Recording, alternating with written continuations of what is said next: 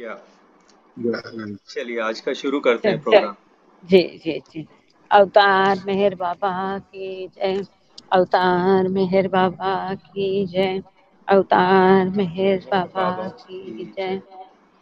प्रियतम मेहर प्रभु हमारे बीच में आकर के आप हम सभी को आपके दर्शन तथा सहवास का आनंद देकर हमारा मार्गदर्शन कीजिए।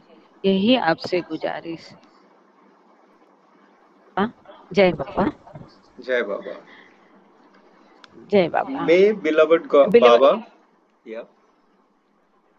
May beloved Baba remain with us through all these readings. Thank you. Jai Meher Baba. So today we will start the next lecture uh, from Crypt Cabin which was given on Wednesday 21st December 1927. तो आज का हम lecture शुरू करते हैं, जो कि बाबा ने क्रिप्ट केबिन से दिया था बुधवार 21 दिसंबर 1927 में। Until this time Baba had been giving his evening lectures to the boys in the west tank room in what is today called Meher retreat on 20th December how Baba moved his seat from Lower Mehrabad and began to confine himself in the crypt cabin, which he never stepped out of from that time until 26th February 20, 1928. All of the remaining lectures in this series Baba gave through an east window of the crypt cabin. When the boys and other attendees of these talks gathered on a platform that had been built in the space extending to the east, since the lectures usually began at 7:30 pm. Well, after the nightfall, the scene had to be lit with the lanterns. This is given by the editor. So basically, editor is giving the spatial description of the place. So इसको हिंदी में देखते हैं तो अ, इसमें editor जो है पहले उस स्थान का वर्णन कर रहे हैं कि जैसे बाबा कहाँ से और कैसे बच्चों को और लड़कों को अपना व्याख्यान देते थे। तो इस समय तक Baba west rank, west tank room में, जिसे आज मेहर रिट्रीट कहा जाता है, लड़कों को अपना शाम का व्याख्यान देते रहे थे। हालाँकि 20 दिसंबर को बाबा ने लोअर मेहराबाद से अपनी सीट बदल ली और खुद को क्रिप्ट केबिन में कैद करना शुरू कर दिया, जहाँ से वे 26 फरवरी 1928 तक कभी बाहर नहीं निकले। इस श्रृंखला में शेष सभी व्याख्यान बाबा ने क्रिप्ट केबिन की पूर्व दिशा की खिड़की से ही दिए और लड़कों और इन वार्ताओं में जो उपस्थित अन्य लोग थे, उनको एक मंच पर, जो कि पूर्व की ओर फैली हुई एक जगह में बनाया गया था, वहाँ से खड़े होकर वो सुनते थे। चूँकि व्याख्यान आमतौर पर शाम को साढ़े सात बजे शुरू होते थे, इसलिए रात हो जाती थी और रात की इस जगह को लालटेन से रोशन करना पड़ता था। तो ये जो है एडिटर ने अपने स्थान के और उस जगह का वर्णन वर्णन करके लिखा है यहाँ पर कि जहाँ से ये लेक्चर बाबा दे रहे थे। Now the lecture start with this the sanskar theory the title of the lecture is the sanskar theory when we explain the evolution of species in detail the whole matter will become clear but before turning to that, let us come to a proper understanding of the Sanskaras theory. Then the evolution of the species can be easily grasped in figure 26 on the next page. अब जो आज का जो व्याख्यान बाबा ने दिया है इस तारीख में तो उसका शीर्षक है संस्कारों के सिद्धांत तो बाबा कहते हैं जब हम प्रजातियों की उत्क्रांति को विस्तार से समझाएँगे तो पूरा मामला स्पष्ट हो जाएगा। लेकिन उस पर जाने से पहले आइए संस्कारों के सिद्धांत को उचित से या ठीक से समझ लें। इसके बाद अगले पृष्ठ पर जो चित्र 26 दिया गया है उसमें प्रजातियों के विकास या उत्क्रांति को आसानी से समझा जा सकेगा। Now, in the stone form, at the outset of evolution, Atma is virtually unconscious. its unconsciousness is almost nil. Why so? The knowing is necessarily made most finite because of the limitedness, limitedness of the form. Which too is most finite? अभी किसके बाबा क्या कह रहे हैं इसमें? हिंदी में इसको समझते हैं। अब पत्थर के रूप में उत्क्रांति के आरंभ में आत्मा लगभग अचेतन होती है। उसकी चेतना लगभग शून्य है। ऐसा किस लिए? इसके रूप की सीमितता, इसके रूप की सीमितता के कारण जानना या ज्ञान आवश्यक रूप से सबसे सीमित मोस्ट फाइनाइट बना दिया गया है। और जो भी सबसे सीमित है।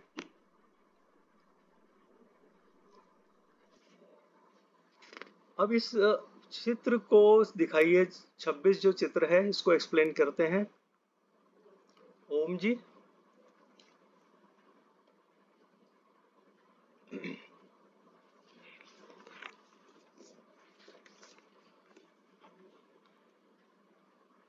इसको एनलार्ज कर दीजिए। हाँ बिल्कुल ठीक है। अब मैं पहले इंग्लिश में करता हूँ। Now this is figure 26 evolution and sanskaras so in first stage stone is shown and in which it is written infinite atma in stone form is almost unconscious and has most finite sanskar इसी को हिंदी में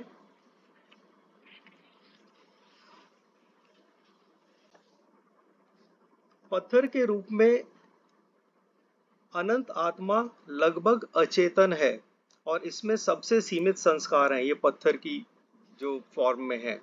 इसको समझते हैं जरा।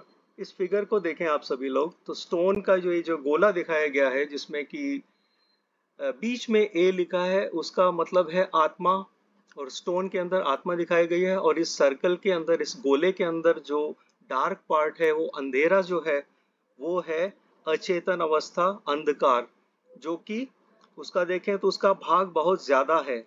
और पीली जो पतली सी लाइन है उसमें जो दिख रही है पहली आकृति में आकृति के इसमें पहले में स्टोन में तो वो है सीमित संस्कार। So, उसको एक बार फिर पढ़ते हैं। Infinite atma in stone form is almost unconscious and has most finite sanskaras तो so stone form has infinite atma is in the center and it is unconscious. That means behosh unconscious. And it has most finite sanskaras. इसको हिंदी में अचेतन अवस्था, उसको figure को दिखाई रखिए ओमजीत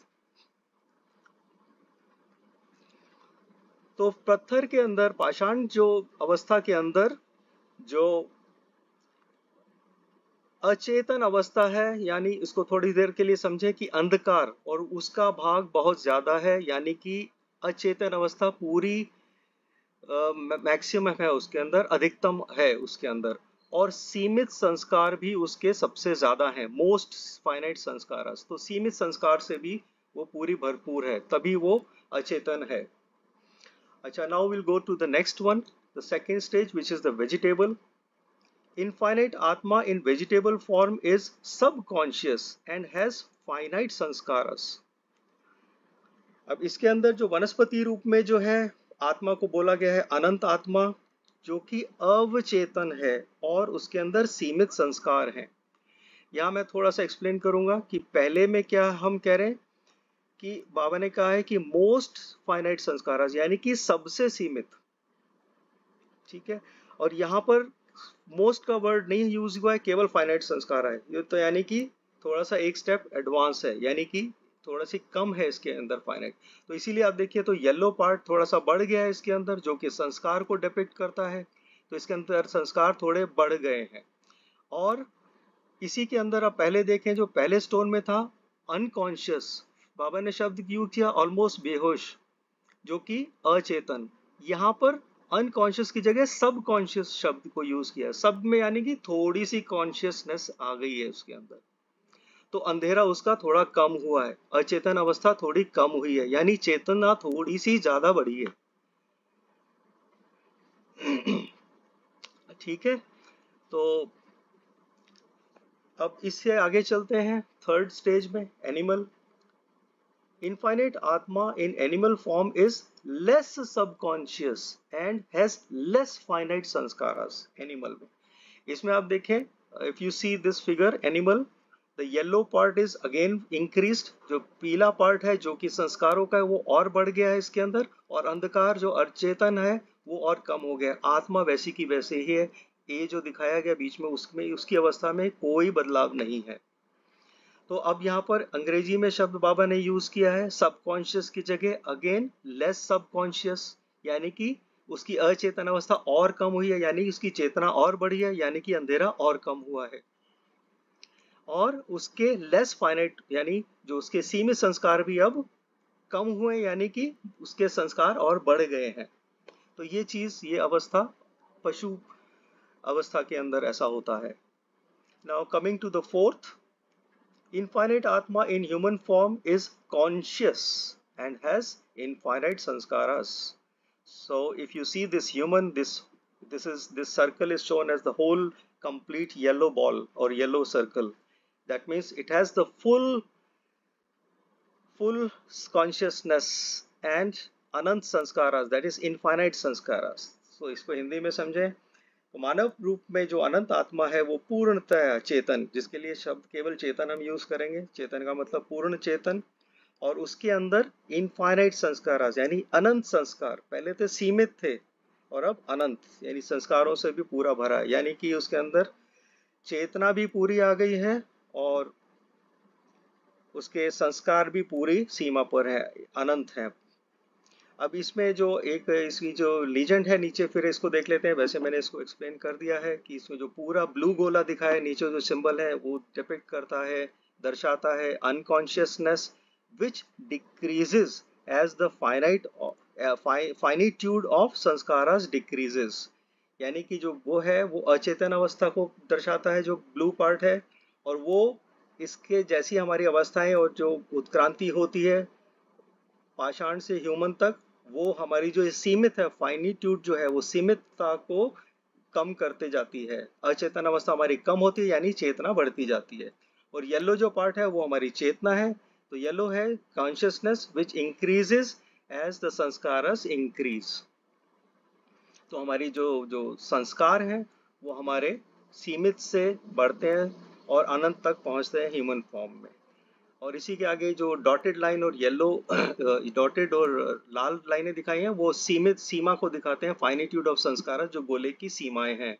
और इसके बिल्कुल जो मध्य में है सेंटर में है, वो आत्मा को दिखाया है ए से डिपिक्ट किया है atma which never changes so stone से ह्यूमन तक, यानी पाषाण से, मनुष्य तक, आत्मा में कोई चेंज नहीं आता है, कोई बदलाव नहीं आता है। यहाँ पर किसी को अभी तक कोई शंका हो इस चित्र के बारे में तो पूछ सकते हैं। हम एक मिनट के लिए रुक सकते हैं।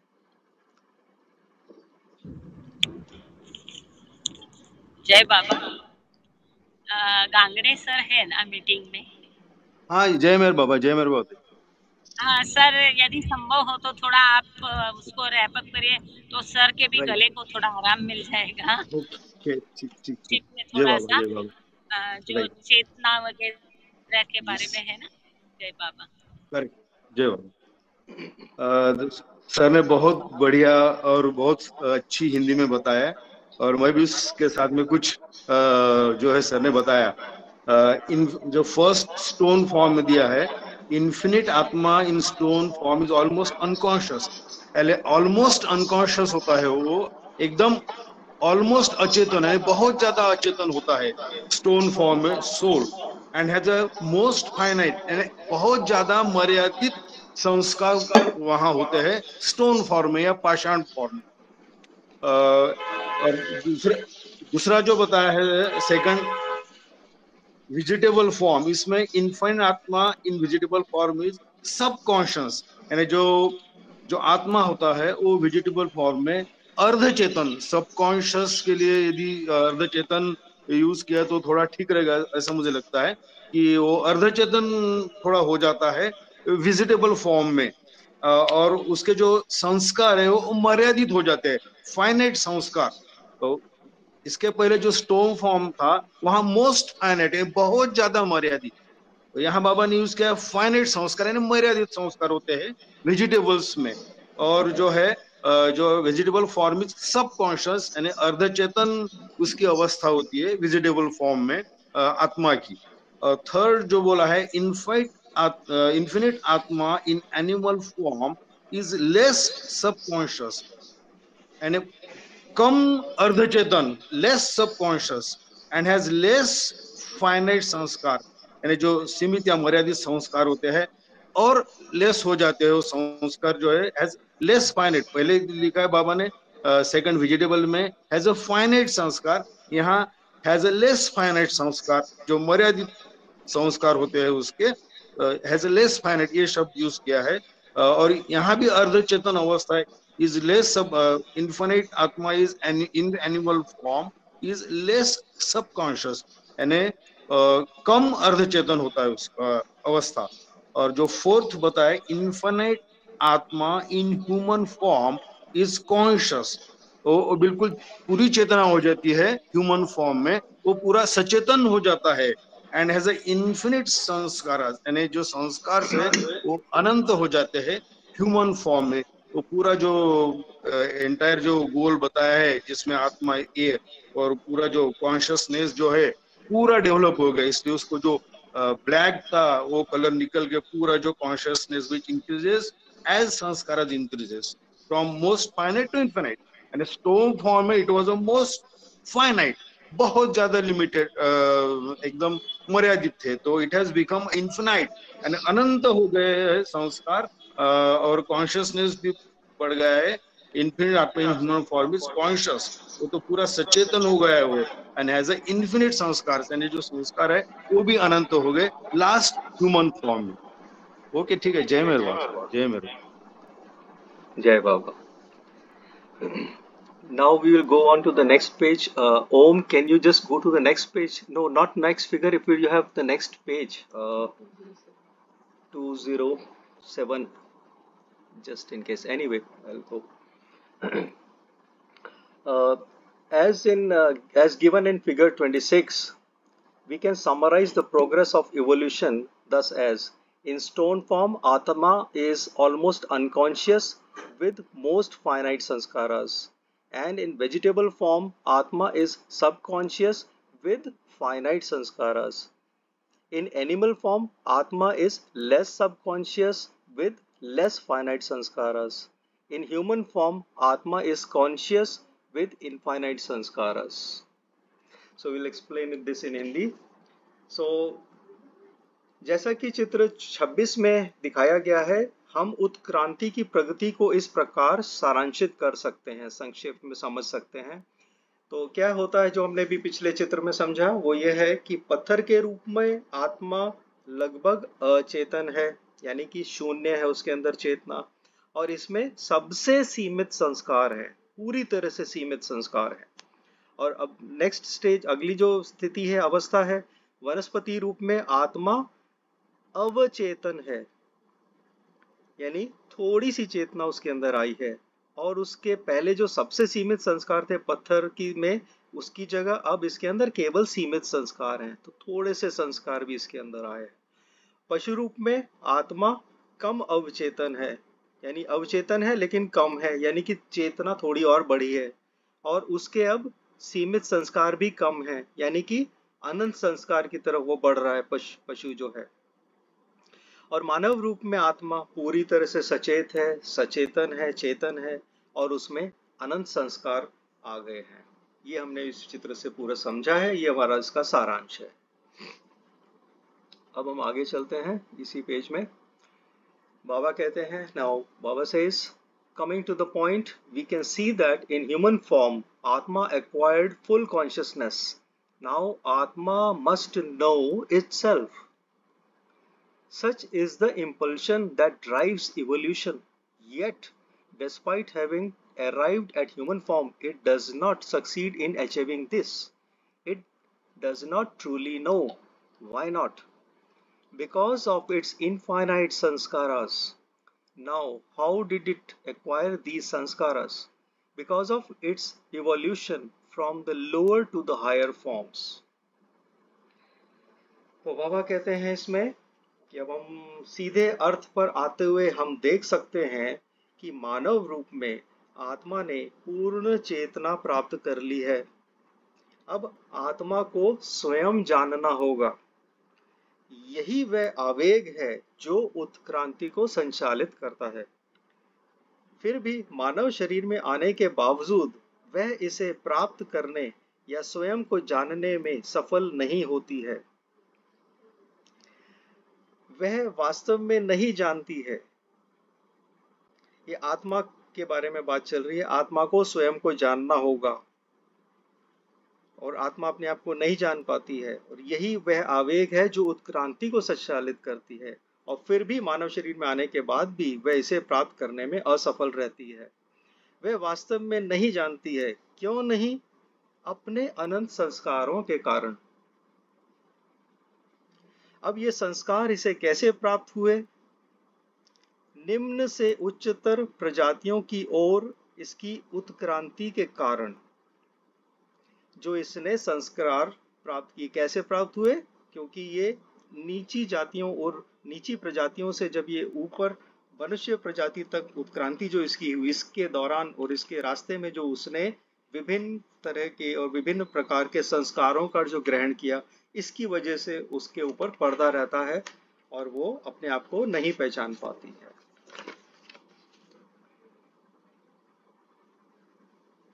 Now we will move on to the next page, 208. For the achievement of the goal, this must happen that consciousness remains while sanskaras vanish. that is, the Atma must reverse itself, going back by the way that it came, while returning both the human form and the full consciousness, while retaining both the human form and the full consciousness. One must become like a stone. This is very important, a very interesting, important paragraph. One must become like a stone whose sanskaras are most finite but with the full consciousness proper to the human form. Like stones, realized ones have no desires and care not whether they are kicked or worshipped or revered.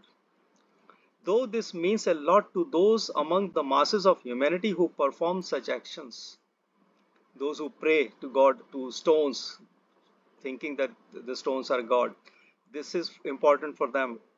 And God helps those unlucky ones who do the former, those who have done the previous thing, so God helps them. इसका हिंदी रूपांतरण।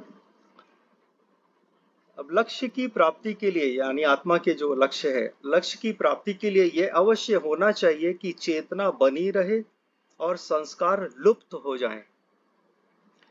अर्थात आत्मा को अपने आप को उल्टा करना होगा।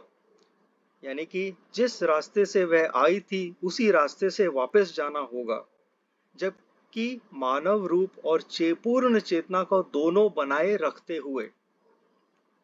इसको समझे कि ये जो आत्मा है, अपने लक्ष्य को कैसे प्राप्त कर सकती है, अपने आप को कैसे पहचान सकती है, अगर वो पूरी चेतना बनाए रखे और उसके संस्कार जो है, लुप्त हो जाए और आत्मा को जिस रास्ते से वह आई है, उसी रास्ते में वापस जाना होगा और अपने मानव रूप की जो चेतना उसको आ चुकी है, पूर्ण चेतना को बनाए रखना पड़ेगा और अपने संस्कारों को पूर्ण तरह से खत्म करना पड़े, पड़ेगा, जैसे कि पाषाण करता है। जैसे पाषाण में कोई संस्कार नहीं होते हैं।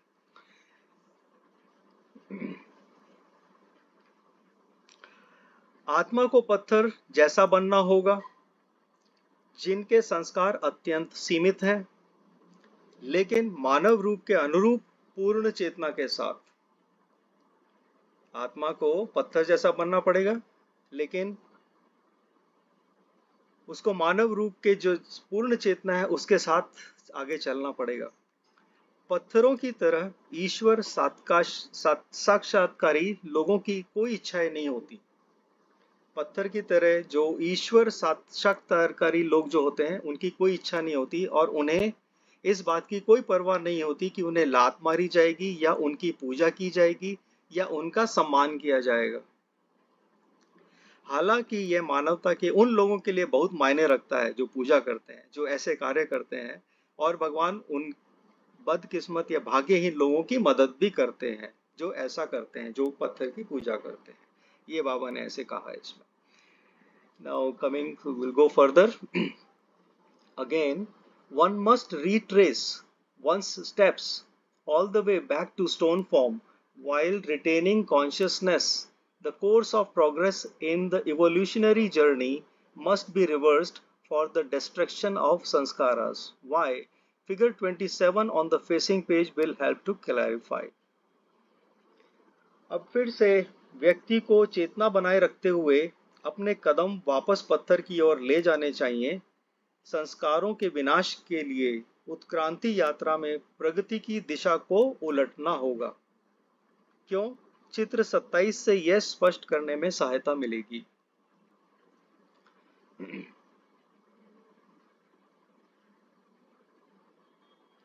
now we will display the figure 27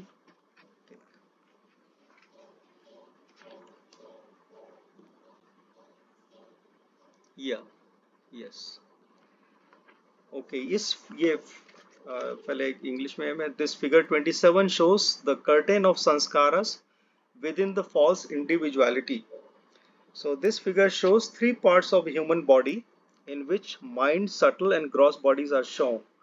Mind is separated from the subtle and gross body by a curtain of sanskaras. This can be seen on the top. We have uh, Atma depicted as A in circle, small circle and then on the right side uh, below Atma is mind and then there is a curtain, uh, curtain of sanskaras and below on the right is the subtle body and the gross body.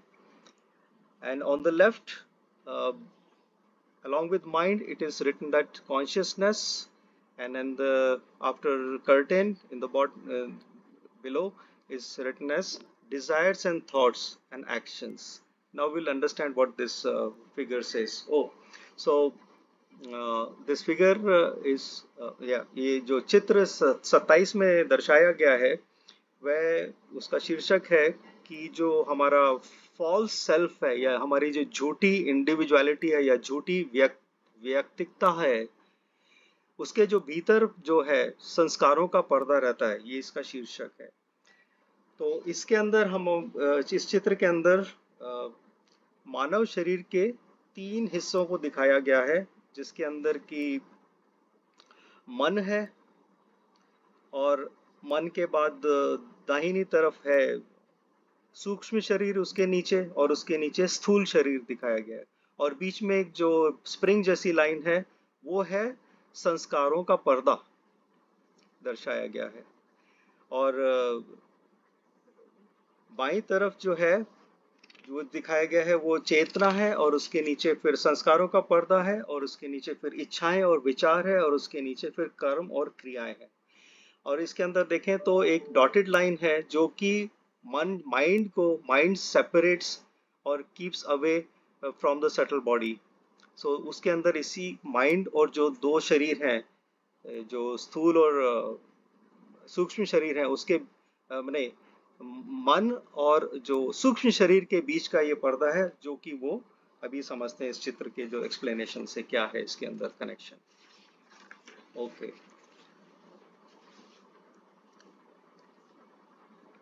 as the diagram shows each human being has a mind as well as the subtle and gross bodies now what are the desires and thoughts they are nothing other than the sanskar in subtle form Sanskaras in gross forms are actions.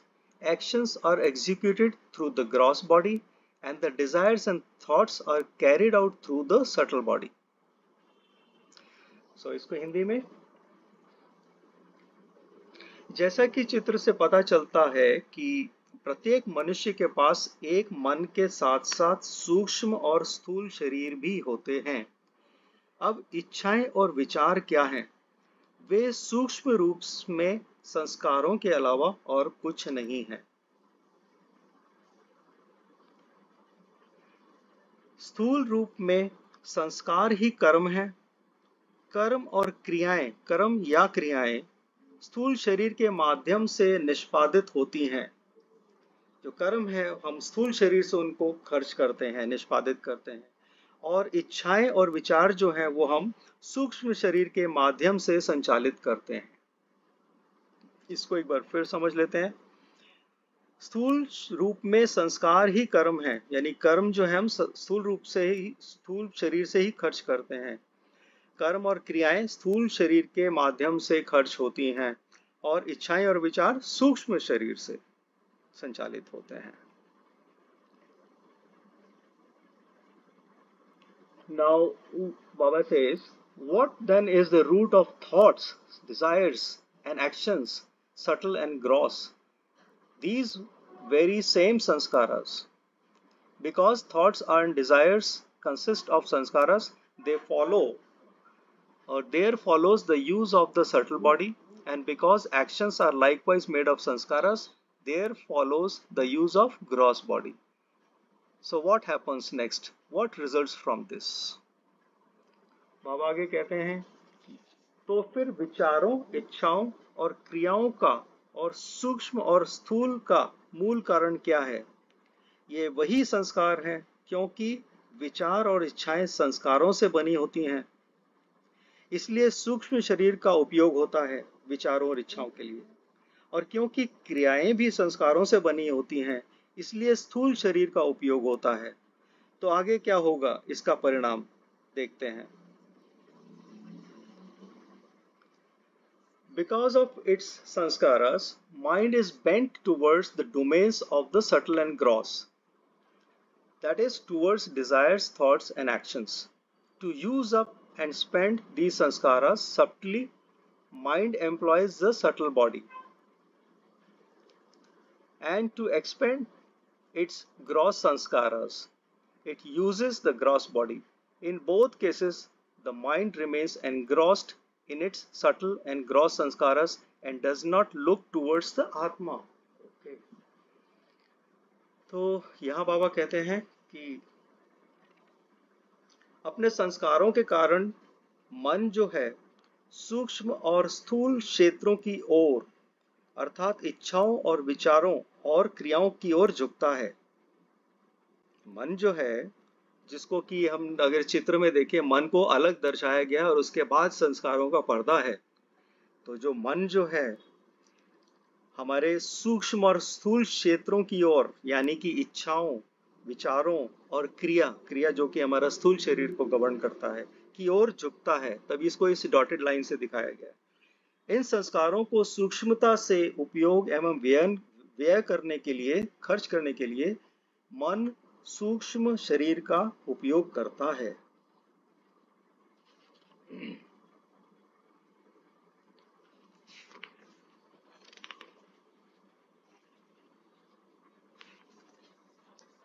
और अपने स्थूल संस्कारों को व्यय करने के लिए वह स्थूल शरीर का उपयोग करता है। दोनों ही स्थितियों में मन अपने सूक्ष्म और स्थूल संस्कारों में ही उलझा रहता है। एक्सक्यूज मी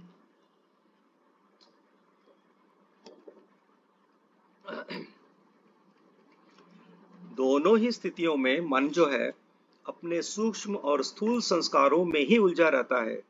जो कि विचार जो थे और जो कि क्रियाएँ थी, कर्म दोनों के कारण जो मन जो है, अपने उन्हीं संस्कारों में उलझा रहता है। सूक्ष्म जो बटोरता है और जो स्थूल शरीर बटोरता है, उसी के संस्कारों में उलझा रहता है और आत्मा की ओर देखता ही नहीं। अब आप इधर समझ सकते हैं कि डॉटेड लाइन का मतलब क्या है। उसका झुकाव जो है हमारे सटल शरीर, यानी सूक्ष्म शरीर की तरफ़ है, इसलिए वो पीछे आत्मा की तरफ़ देखता ही नहीं, देख ही नहीं रहा है। बहुत अच्छे से एक्सप्लेन किया बाबा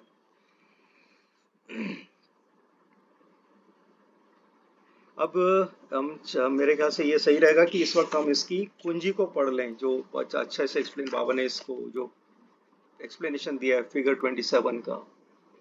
So I just go through in English so key to figure 27 seven continuing on the subject of sanskar figure 27 seven shows their role and placement within the structure of the false self atma of course transcends sanskaras altogether. mind which Baba here identifies with consciousness itself likewise occupies a position structurally prior to sanskaras. The curtain of sanskaras intervenes between pure consciousness and the two bodies, which are subtle and gross, casting a shadow on all beneath and bending the consciousness of mind down into the subtle and gross domains, as shown in figure 27, by the arc linking mind with subtle body. The subtle body, of course, serves as the arena for the manifestation of thoughts and desires and the gross body provides the vehicle for their enactment. क्या मतलब है इसका हिंदी में अब हम इसकी जो चित्र 27 है इसका विवरण समझते हैं संक्षेप में संस्कारों के विषय में और संस्कारों के विषय पर आगे बढ़ते हुए चित्र 27 में झूठे स्वयं, जो फॉल्स सेल्फ है, झूठे स्वयं की रचना के भीतर उनकी भूमिका और स्थान को दर्शाता है। निसंदेह, आत्मा संस्कारों से सर्वथा परे है। आत्मा संस्कारों से परे है, यानी बहुत ऊपर है, अलग है। मन जिसे बाबा यहाँ चेतना के साथ पहचानते हैं मन, जिसे बाबा यहाँ चेतना के साथ पहचानते हैं, इसी तरह संरचनात्मक रूप से संस्कारों से भी पहले का स्थान रखता है। जो मन जो है इसलिए पहले आता है और उसके जो संस्कार जो है, बाद में आते हैं, जैसे कि नीचे दिखाया गया संस्कारों का पर्दा शुद्ध चेतना और दो शरीरों, जो कि सूक्ष्म और स्थूल के बीच हस्तक्षेप करता है। नीचे सभी पर छाया डालता है। जो इस पर्दे की वजह से अगर आप देखेंगे देर इज़ ए शेडो इसके अंदर थोड़ी सी छाया दिख रही है तो ब्लैकनेस है, इसको दिखाया गया है। जो है, मन जो है, बाकी संस्कारों पर छाया डालता है। तो मन की चेतना को सूक्ष्म और स्थूल क्षेत्रों में झुकाता है। जैसा कि चित्र 27 में आर्क लिंकिंग द्वारा दर्शाया गया है। मन के साथ दर्शाया गया है सूक्ष्म शरीर को, जो लिंक किया गया है। सो निस्संदेह सूक्ष्म शरीर, विचारों और इच्छाओं की अभिव्यक्ति के लिए एक शुभ एक क्षेत्र में रूप में कार्य करता है और स्थूल शरीर उन्हें क्रियान्वित करने के लिए वाहन प्रदान करता है।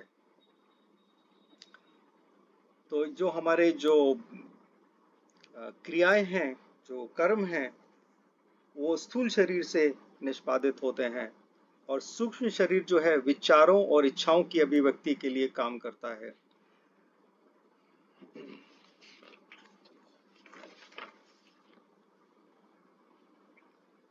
Now we'll go further.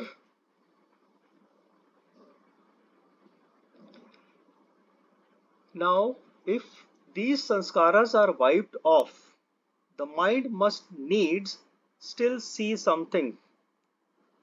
Why? Because when the mind does not, when mind does so many things in the gross and subtle medium, necessarily it must do something when it is divested of them. So Hindi में देखते हैं क्या कह रहे हैं बाबा? अब इतना सब कुछ करने के बाद, अब यदि अगर हम सारे संस्कार मिट भी जाएँ तो मन अभी भी कुछ देखने की आवश्यकता और उस ज़रूरत रहती है उसको। अब यदि संस्कार सारे मिट भी जाएँ तो मन को अभी भी कुछ देखने की ज़रूरत या इच्छा रहती है, कैसा भी समझे, या आवश्यकता रहती है। क्यों? क्योंकि जब मन स्थूल और सूक्ष्म माध्यमों से इतनी सारी चीज़ें करवाता है तो आवश्यक रूप से जब वह उनसे मुक्त हो जाता है तो उसे कुछ ना कुछ करना ही पड़ता है। इसमें अब सीक्रेट है, आगे समझते हैं, इसके अंदर कुछ रहस्य देखते हैं बाबा क्या कह रहे हैं कि क्या करता है मन फिर The task then is to retain full consciousness. And yet to return to the original state prior to the entanglement with sanskaras. How is this to be done? By retaining consciousness while becoming a stone. क्या कहते हैं बाबा तो फिर जैसे कि बाबा ने कहा कि मन को कुछ ना कुछ तो करना ही पड़ता है जब संस्कारों से मुक्त हो जाता है तो फिर मन का कार्य जो है पूर्ण चेतना बनाए रखना हो जाता है और फिर संस्कारों में उलझे, उलझने से पहले की मूल स्थिति में लौटना पड़ता है और लौटना होता है, उसका ये कार्य हरा जाता है। तो ये कैसे किया जाना है? पत्थर बनते हुए भी होश बरकरार रखते हुए। ये बाबा पूछते हैं फिर, कहते हैं कि ये कैसे करेंगे हम आगे? So at this point you might be asking why are we delving into the detailed explanation of all these things to make the original subject more clear and enhance our standing of the general theme. Baba कहते हैं, अब इस पर आप शायद पूछ रहे होंगे कि हम इन सभी चीज़ों की विस्तृत व्याख्या में क्यों पढ़े हैं, क्यों पढ़ रहे हैं ऐसा हम इसलिए कर रहे हैं ताकि मूल विषय को अधिक स्पष्ट बनाने और सामान्य विषय के बारे में हमारी समझ को बढ़ाने के लिए हम ऐसा कर रहे हैं तो इस चित्र के बारे में अगर किसी को शंका और अभी तक का कोई किसी को कोई संशय हो तो आप या कुछ कहना चाहते हो तो डिस्कस कर सकते हैं, कोई भी। या चित्रंजन जी, आप कुछ बोलना चाहेंगे दो शब्द जिससे मुझे गले को थोड़ा सा दो मिनट मिल जाए, आगे और फिर लंबा है, पूरा पेज। सर आपने बहुत अच्छी तरह सर एकदम क्लियरली बता दिया है कि जो बाबा ने एक्सप्लेन किया है जो संस्कारों का पर्दा है, उसकी वजह से आत्मा एकदम उसके परे है तो सटल बॉडी और ग्रॉस बॉडी जो है, स्थूल शरीर और सूक्ष्म शरीर, उसके वो पर्दे से कर्टन के बाद में आता है।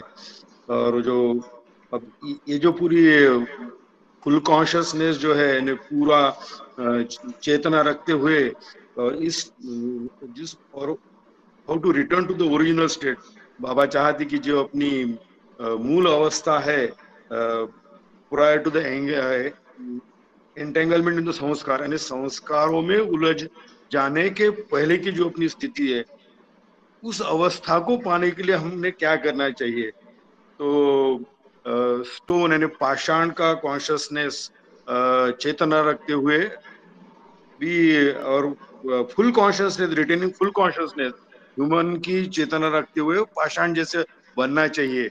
इस तरह जो बाबा ने कहा, और ये जो इसको जो अंडरस्टैंडिंग बाबा ने दी है, वो आगे और क्लियर हो जाएगा। आपने बहुत बढ़िया और अच्छे तरीके से बताया तो उसमें मैं ज़्यादा ऐड नहीं करना चाहूँगा। जय मेरे बहुत सर, जय मेरे बहुत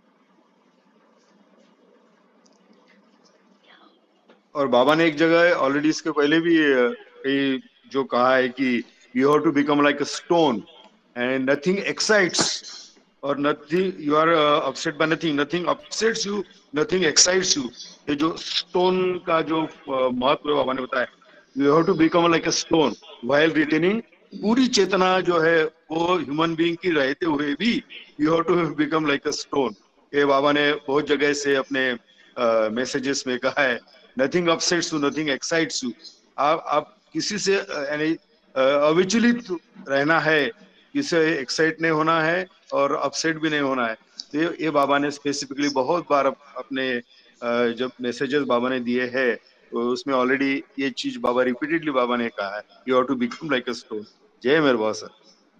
आप अपना वीडियो ऑन कर सकते हैं जब भी आप बोले तो उससे रिकॉर्डिंग हो रहा है तो अच्छा रहेगा रिकॉर्डिंग के लिए। ठीक सर ठीक। Okay, so we'll move on to the page 211. I'll, it's a long paragraph, so I'll just complete one full paragraph and then I'll explain in Hindi.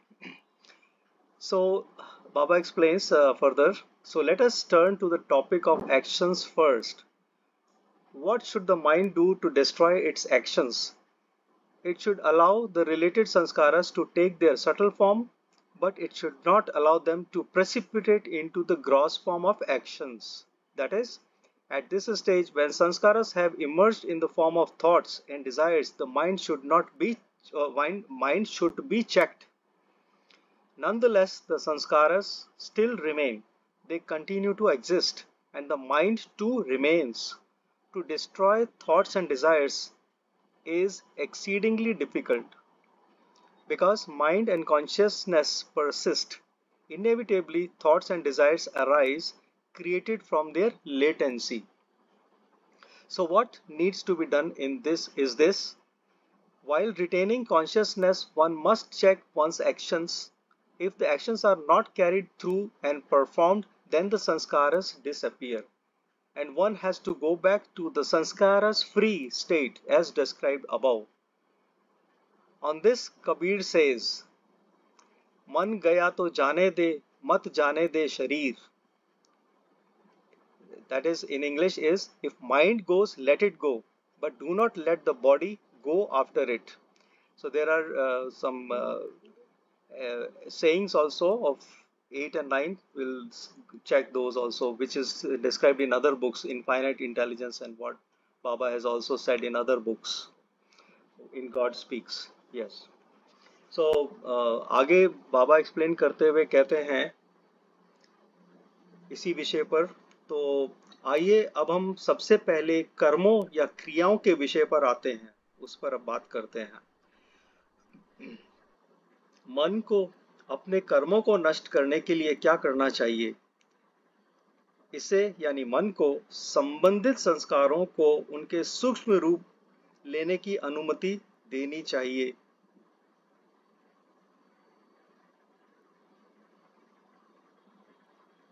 ठीक है। मैं जस्ट चेक कर रहा था कि गलत तो नहीं है यार सो so, मन को जो है संबंधित संस्कारों को उनके सूक्ष्म रूप में लेने की अनुमति देनी चाहिए लेकिन उन्हें कर्मों के स्थूल रूप में अव अविक्षेपित या इकट्ठा नहीं होने देना चाहिए। यानी फिर इसको देखें मन जो है मन से संबंधित जो संस्कार हैं उनको आगे जाने देना चाहिए सूक्ष्म रूप में जाने की अनुमति मिलनी चाहिए लेकिन स्थूल रूप से इकट्ठा नहीं होना चाहिए उनको, जो कर्म है, जो मन के, जो संस्कार हैं। अर्थात इस अवस्था में जब संस्कार विचारों और इच्छाओं के रूप में उभरे तो मन को जांचना चाहिए, मन को चेक करना चाहिए। अर्थात इस अवस्था में जब संस्कार जो है, विचारों और इच्छाओं के रूप में उभरे तो मन को चेक करना चाहिए, मन को जांचना चाहिए। लेकिन फिर भी संस्कार बचे रह जाते हैं और बने रहते हैं। और मन भी रहता है। विचारों और इच्छाओं को नष्ट करना अत्यंत ही कठिन है क्योंकि मन और चेतना कायम रहते हैं और बने रहते हैं। अनिवार्य रूप से विचार और इच्छाएँ उत्पन्न होती हैं और जो उनकी विलंब प्र, प्रसुप्ति अवस्था से निर्मित होते हैं। जो मन जब सुप्त था उस उस अवस्था से उस उस समय भी उसने जो अपने संस्कार ग्रहण किए थे, उसकी वजह से आगे भी चल कर के भी अनिवार्य रूप से जो विचार और इच्छाएँ जो हैं, उत्पन्न होती रहती हैं। इसलिए वे खत्म नहीं होती हैं। तो जो करने की आवश्यकता है, वह यह है कि चेतना बनाए रखते हुए व्यक्ति को अपने कार्यों की जाँच करनी चाहिए, कर्मों की जाँच करनी चाहिए और यदि जो कर्म या क्रियाएँ हैं किसी माध्यम से नहीं की जाती या उनका निष्पादन नहीं किया जा सक नहीं किया जाता तो ये संस्कार गायब हो जाते हैं। और व्यक्ति संस्कार मुक्त अवस्था में वापस चला जाता है, जैसा कि ऊपर वर्णित है। इस पर कबीर कहते हैं कि मन गया तो जाने दे, मत जाने दे शरीर। मतलब है कि अगर मन जाता है तो जाने दो, लेकिन शरीर को उसके पीछे मत जाने दो। इसको हम देखते हैं कि बाबा ने कैसे आगे एक्सप्लेन किया है कि जो जो ये दोहा है, कैसे लिया है कि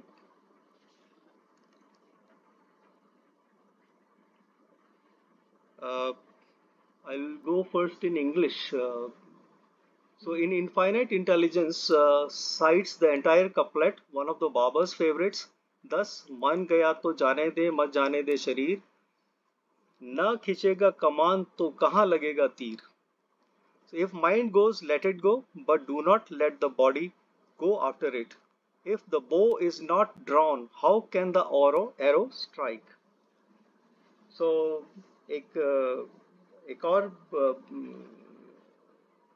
पुस्तक है, जिसका शीर्षक है इनफाइनाइट इंटेलिजेंस उसके पृष्ठ चार सौ बाईस पर बाबा का एक पसंदीदा दोहा है उसका हवाला देकर बाबा ने यहाँ पर उसको एक्सप्लेन किया है, इस प्रकार विवरण दिया है कि मन गया तो जाने दे, मत जाने दे शरीर, न खिंचेगा कमान तो कहाँ लगेगा तीर। तो इसका और हिंदी में देखें तो मन, यदि मन गया तो उसे जाने दें, परंतु शरीर को उसके पीछे न जाने दें, यदि धनुष का कमान ही न खींचा तो बाण कैसे चलेगा? बहुत अच्छा है और जो एक और है इसका एक्सप्लेनेशन बाबा ने एक और जगह दिया है कि I read in English first though Baba does not explain here what he means by turning the mind. A year earlier, on 28 November, he gave an explanation and an analogy to the Mandli in Lonavala that probably bears this point. And see Tiffin Lectures, page 321 to 323 also pertinent in Baba's account in God Speaks of the turning inward and passage through the seven openings in the face in the course of one's progress through the five spiritual planes. Okay. so, हालाँकि बाबा ने mind turning या मन के मोड़ने को स्पष्ट नहीं किया लेकिन एक वर्ष पहले 28 नवंबर 1926 को उन्होंने लोनावला में मंडली के लिए एक स्पष्टीकरण और एक सदृश्य दिया था जो कि संभवतः इस टिफ़िन लेक्चर्स में पृष्ठ 321 से 322 23 पर भी अंकित हैं।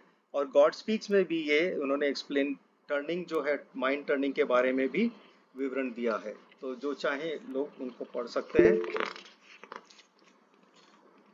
हाँ आप मेयर कृपा जी आप बोलिए। जय बाबा। जय बाबा।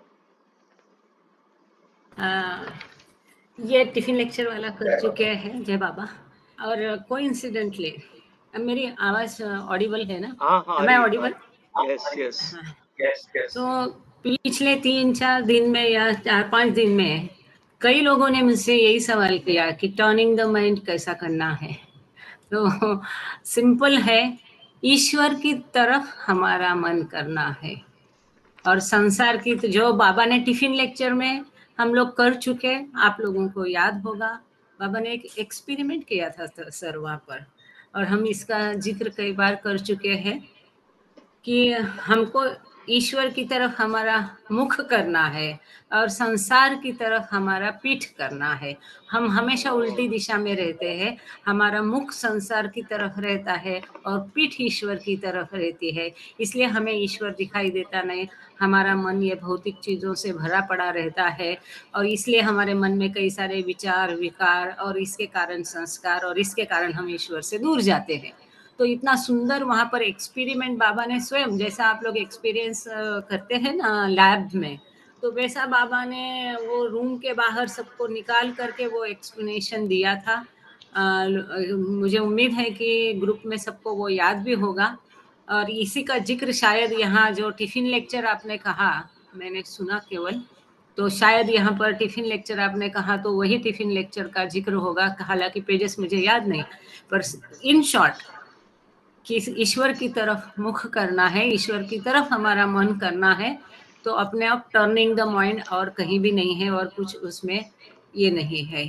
थैंक यू जय Baba. Hope it is clear though not to the editor definitely it is clear to the all those are attending Jai attending Baba. listeners yes yes those who are listeners it must be clear to them uh, to, uh, baba continues Now for mind to revert to its original sanskaras free condition and directly see Paramatma, all desires and thoughts must vanish. But this is impracticable. Unless the mind is turned, Paramatma cannot be seen. So a Sadguru needs to be caught hold of and he will help us to turn our mind.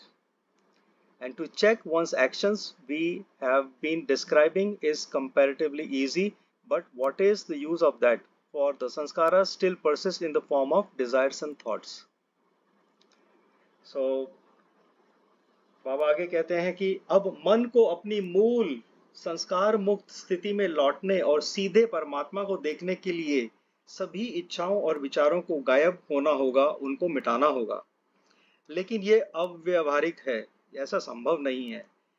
जब तक मन न मुड़े, परमात्मा को देखा नहीं जा सकता तो सदगुरु को पकड़ना पड़ेगा और वह हमारी मदद करेगा, हमारे मन को घुमाने में, वापस मोड़ने में।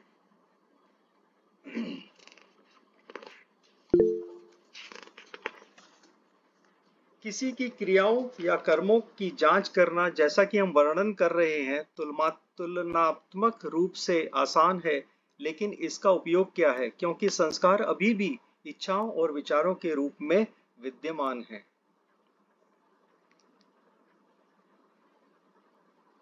Okay. continues, those people who believe in and act accordingly uh, accordingly to the can at most check in check their actions. But those who progress on into the tariqat can check their desires and thoughts as well. Such a one gets a help from his master who turns his mind. But the shariat even when followed to the utmost brings about only the checking of actions. And so it does not provide the real practical help needed on the path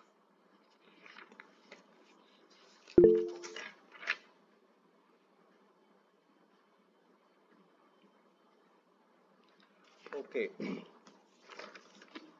जो लोग शरीयत पर विश्वास करते हैं और उसके अनुसार कार्य करते हैं, वे अधिक से अधिक अपने कर्मों की जाँच कर सकते हैं। लेकिन जो लोग तरीकत में आगे बढ़ते हैं, वे अपनी इच्छाओं और विचारों की भी जाँच कर सकते हैं। ऐसे व्यक्ति को अपने मास्टर या गुरु या मालिक की मदद मिलती है, जो उसके मन को बदल देता है, मन को घुमाने में या मन को वापस मोड़ने में। लेकिन शरीयत यहाँ तक कि जब अत्यधिक पालन किया जाता है, केवल क्रियाओं की जाँच कर पाता है और इसलिए यह वास्तविक व्यवहारिक सहायता प्रदान नहीं करता है, जिसकी आवश्यकता उस पथ पर होती है। तो यानी कि जो शरीयत को विश्वास करते हैं, वो अपनी इच्छाओं पर जाँच कर पाते हैं और ऐसे व्यक्ति को अपने गुरु से मदद मिलती है। लेकिन जब शरीयत में इसका उल्टा होता है, जहाँ तक कि जब वो अत्यधिक पालन भी करते हैं और केवल क्रियाओं की जाँच कर पाते हैं, लेकिन वे वास्तविक सहायता नहीं मिल पाती उनको, जिसकी आवश्यकता उस पथ पर रहती है।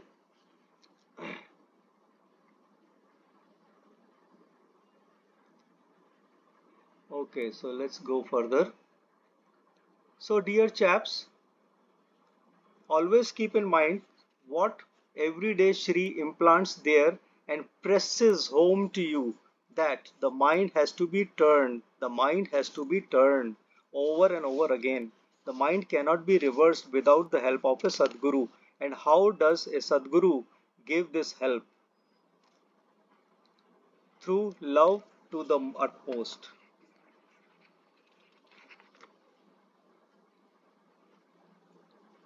I think. Uh,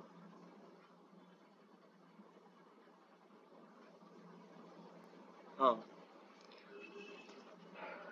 इसलिए प्रिय मित्रों, हमेशा इस बात का ध्यान रख, वो बात को ध्यान में रखें कि श्री हर दिन क्या कहते हैं और आप पर दबाव डालते हैं कि मन को मोड़ना है, मन को मोड़ना है और बार बार यही कहते हैं, बिना सदगुरु की सहायता के मन को मोड़ा नहीं जा सकता और एक सदगुरु ऐसी सहायता कैसे देता है अत्यधिक प्रेम के माध्यम से।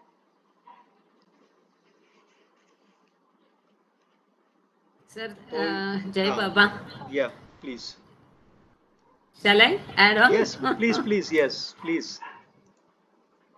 तो यहाँ हम सबको ये ध्यान देना चाहिए कि बाबा क्या कह रहे हैं। देखो मन रहता रहना चाहिए खाली रहना चाहिए। एकदम खाली। अब मन खाली कब रहेगा उसमें विचार क्यों नहीं आना है? जैसे ये सृष्टि का उत्पत्ति बिंदु या ओम पॉइंट जैसे ये सृष्टि का उत्पत्ति बिंदु है, जहाँ से सृष्टि का निर्माण हुआ, उसी प्रकार ये मन जो है, ये संस्कारों का उत्पत्ति बिंदु है, संस्कार का क्रिएशन पॉइंट ये मन है। मन ही है जहाँ से ये सृष्टि शुरू हो गई, जो पहला विचार था कोहम, ये मन में आया है, तभी सृष्टि निर्माण हुई। और जो लास्ट है कि मैं ही मन हूँ, सबसे अंत में जाता है, मनोनाश होता है, तभी ईश्वर साक्षात्कार होता है। मतलब शुरू और अंत जो है, ये सब खेल का, ये मन से हुआ है। ये अहम बात यहाँ पर हमें ध्यान देनी पड़ेगी।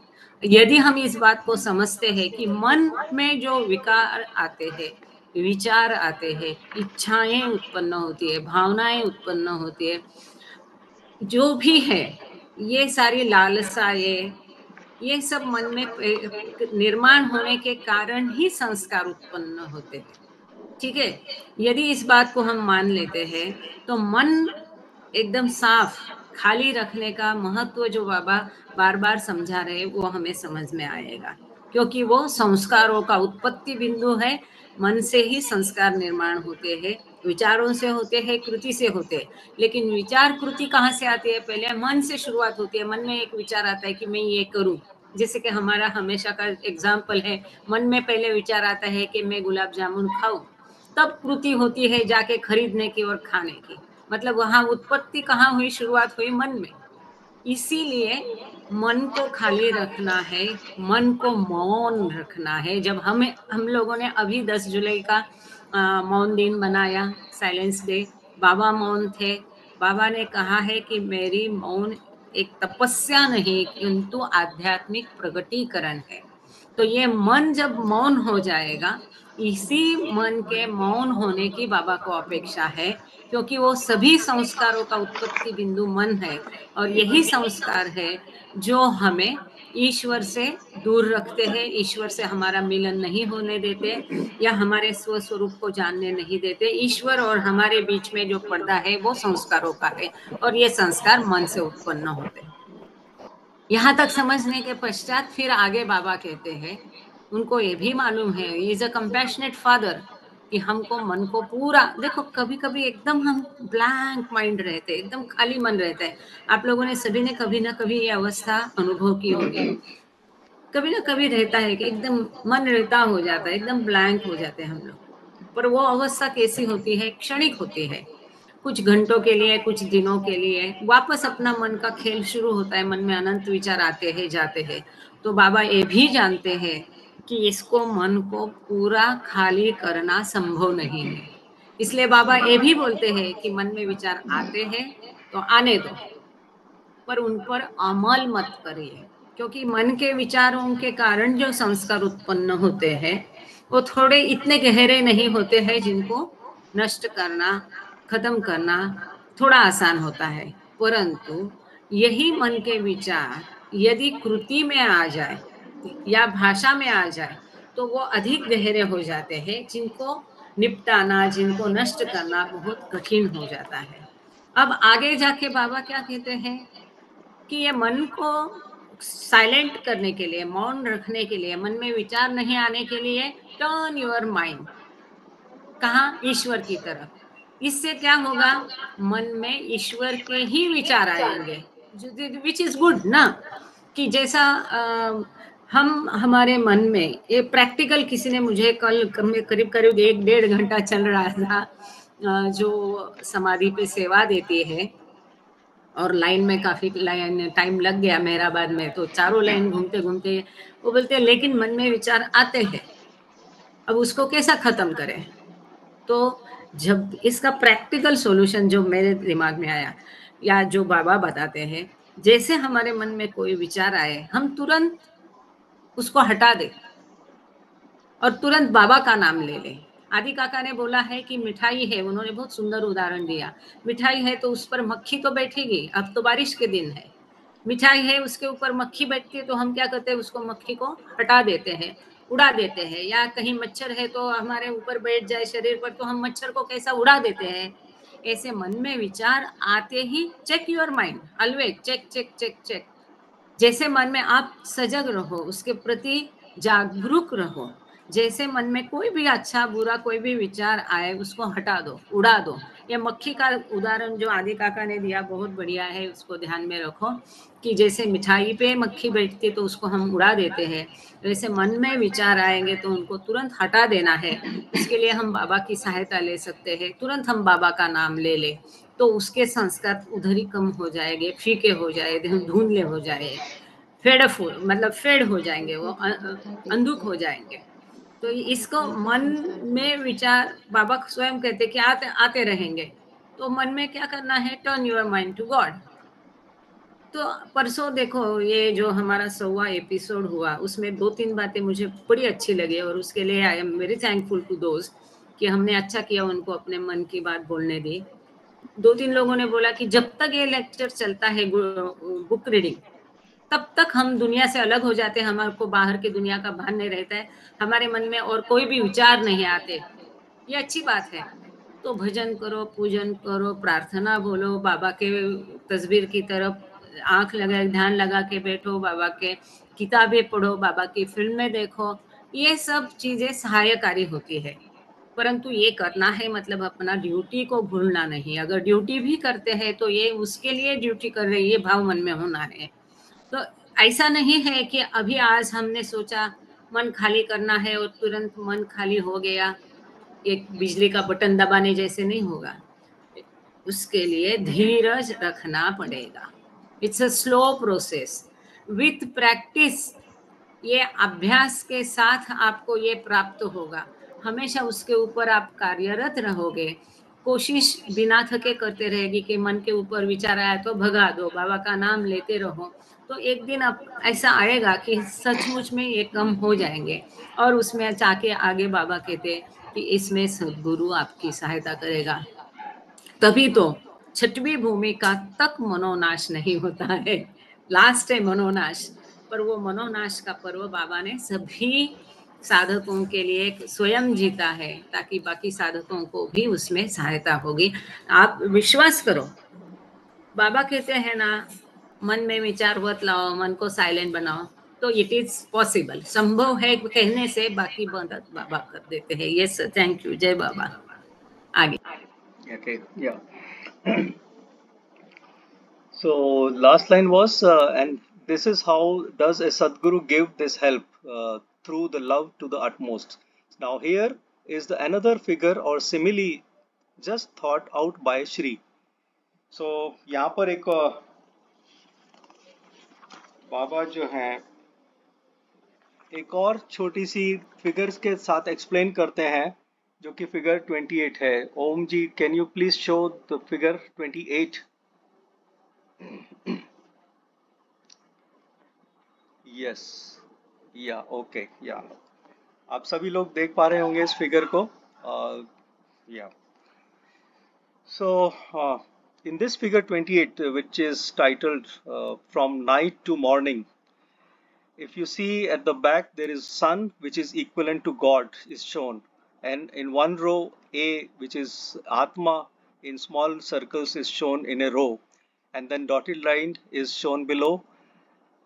Uh, and in between you can see the clouds clouds of sanskaras and then if you see the row for knowing the knowledge that also increases from a point to a slightly bigger circle towards the human. And in the uh, below there are four stages for numbered as fourth is human and the next third is animal and the vegetable is second and stone is first. And this Baba has compared the stone with the night which is one and which goes to the first uh, next stage to the midnight which is second and which is down third and the morning fourth. And stone is shown as the most finite.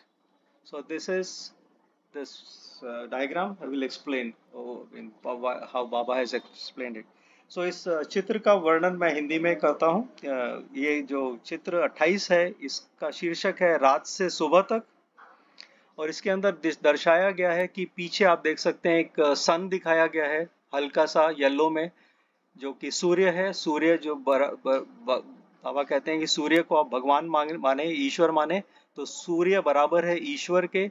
और उसके आगे एक आत्मा की पूरी line दिखाई गई है, ए से दर्शाया गया है, और उसके नीचे फिर जो डॉटेड लाइंस हैं, नीचे जो और बीच में आप देख सकते हैं जो संस्कार के बादल हैं, और उसके बाद नोइंग जो ज्ञान है, उसकी एक लाइन चल रही है, जिसमें कि जानना और जो ज्ञान है, छोटे से बिंदु से लेकर वो थोड़ा बड़ा होता जाता है, और जो कि पाषाण से शुरू होकर, पत्थर से शुरू होकर के मनुष्य तक जाता है तो उसका जो जानना है, ज्ञान बढ़ते हुए दिखाया गया है और जो पहली अवस्था है, उसको बाबा ने बताया कि पाषाण है, पत्थर है, दूसरी अवस्था वेजिटेबल वनस्पति है, जो उससे अगली तीसरी अवस्था जो पशु है, उसके बाद मनुष्य है। इसको बाबा ने तुलना किया है, जो पाषाण जो अवस्था है, उसको किया है रात से। रात से तुलना किया है, उसके बाद जो दूसरी अवस्था है, जो वनस्पति की अवस्था है, उसको आधी रात से तुलना किया है और उसके बाद जो पशु की अवस्था है, उसको सुबह की जो भोर होती है, जिसको प्रातःकाल कहते हैं, भोर अवस्था, डाउन, उसके साथ कंपेयर और तुलना किया है। और जो मनुष्य है, उसको पूरी तरह से सुबह, प्रातःकाल जो पूरे सुबह हो गई है, उसके साथ तुलना किया है। चौथी जो दशा है। और जो पाषाण के लिए आगे लिखा है कि मोस्ट फाइनाइट दैट इज़ सबसे सीमित। अवस्था जो है सबसे सीमित जो संस्कार है ये चित्र का विवरण है। अब इसके सम, समझते हैं इसके अंदर है क्या? इसकी कुंजी भी हम पहले इंग्लिश में पढ़ता हूँ मैं। इस चित्र की जो कुंजी दी गई है जो key to figure so starting with the key to figure this elaborate diagram metaphor compares evolutionary progress from stone through vegetable and animal to human form to the movement in the daily cycle from early night through the midnight and dawn to full morning. Darkness corresponds to unconsciousness, while the Son of God is infinitely conscious. Although Atma itself remains unchanged throughout, the consciousness symbolized by daylight and correlating with the line of knowing grows and grows even after the achievement of full consciousness in human form. However, the human does not see the sun since the clouds of sanskaras, which have been accumulating throughout the evolutionary process, now intervene and block the sun's view. So nice, so clear. So इसको हिंदी में समझते हैं ये जो विस्तृत आरेखीय रूपांतर जिसमें कि पत्थर से वनस्पति और मनुष्य और पशु से मानव रूप में उत्क्रांति की प्रगति की तुलना दैनिक चक्र में रात से आधी रात और भोर से लेकर पूर्ण सुबह तक की गति से करता है। अंधेरा मेल खाता है अचेतन अवस्था से, जबकि भगवान समान सूर्य अनंत सचेत है। यद्यपि आत्मा स्वयं अपरिवर्तित रहती है, चेतना दिन के उजाले का प्रतीक है, और जो जानना है, ज्ञान है, उसकी जो पंक्ति के साथ संबंधित है, दिखाया गया है वह बढ़ती जाती है। हम देख सकते हैं कि जो ज्ञान जैसे जो छोटा है, जो सर्कल से बड़ा होता जाता है तो जो ज्ञान है वो बढ़ता जाता है। मानव रूप में पूर्ण चेतना की उपलब्धि के बाद भी, हालाँकि मनुष्य सूर्य को नहीं देख पाता है, क्योंकि बीच में संस्कारों के बादल हैं और उसकी उत्क्रांति की प्रक्रिया में और की जो अवधि है, उसमें इकट्ठा हो या जमा होते रहते हैं। तो यही जो संस्कारों के बादल हैं, वो इकट्ठे करता रहता है, जिसकी वजह से ये मनुष्य जो सन या भगवान को, ईश्वर को नहीं देख सकता है। तो एक बार इसको फिर पढ़ते हैं, जो मानव रूप में पूर्ण चेतना की उपलब्धि के बाद भी मनुष्य सूर्य को नहीं देख पाता है, क्योंकि संस्कारों के बादल जो उसकी उत्क्रांति की प्रक्रिया में के में इकट्ठा या जमा होते हैं, अब हस्तक्षेप करते हैं और उसे अवरुद्ध करते हैं। तो ये संस्कारों की वजह से जो जो बादल है उसकी वजह से मनुष्य को चेतना आने पर भी ईश्वर प्राप्ति नहीं होती ईश्वर को देख नहीं पाता है।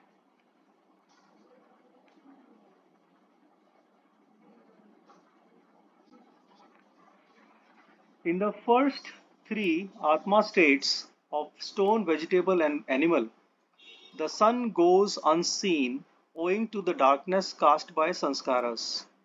In the fourth state of human, morning has arrived and now the sun must be seen. But here again, this does not happen. The sun remains hidden owing to the clouds of sanskaras. This is what we have understood from the figure. प्रथम तीन अवस्था प्रथम तीन आत्मा की अवस्थाओं जो है, पत्थर, वनस्पति और पशु, में संस्कारों के अंधकार के कारण सूर्य दिखाई नहीं देता है। और चौथी अवस्था जो मनुष्य की है, उसमें सुबह हो गई है और अब सूर्य अवश्य दिखना चाहिए। लेकिन यहाँ फिर भी ऐसा नहीं होता। संस्कारों के बादलों के कारण सूर्य छिपा रहता है, जैसा कि हमने अभी इस चित्र में एक्सप्लेन किया, समझा इसका। सो what is to be done? The clouds needs to be shifted aside and out of the way. How is this to be accomplished? You need to love me which means to think of me. And to think of me means not to think of yourself at all baba baba says. I repeat you need to love me. How to accomplish this you need to love me, which means to think of me. And to think of me means not to think of yourself at all. बाबा बहुत अच्छी बात करते हैं यहाँ पर।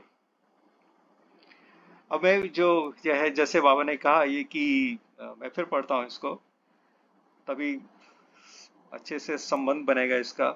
प्रथम तीन अवस्थाओं में जो पत्थर, वनस्पति और पशु में संस्कारों के अंधकार के कारण सूर्य दिखाई नहीं देता है, और इवन चौथी अवस्था जो मनुष्य की में सुबह हो गई है, अभी भी सूर्य अवश्य दिखना चाहिए, लेकिन ऐसा भी नहीं होता, फिर भी ऐसा नहीं होता, क्योंकि संस्कारों के बादल के कारण सूर्य छुपा जाता है, छुपा रहता है। अब बाबा कहते हैं तो क्या किया जाए? बादलों को एक और स्थानांतरित करने की आवश्यकता है, और इसको रास्ते से बाहर ले जाने की आवश्यकता है, इसको बाहर फेंक देने की आवश्यकता है। तो इसे कैसे पूरा किया जाए? इसके लिए तुम्हें मुझसे प्यार करना होगा। यानी मेरे बारे में सोचना होगा। और मेरे बारे में सोचने का मतलब क्या है? मतलब है, अपने बारे में बिल्कुल मत सोचना। अपने बारे में बिल्कुल भी ना सोचना। And that's the end of this lecture here today's और यहीं से इस बाबा का आज का लेक्चर और आज का जो भी व्याख्यान है समाप्त होता है। और इसके बाद आप कोई भी शंका हो, कोई डिस्कशन करना हो तो अब floor is open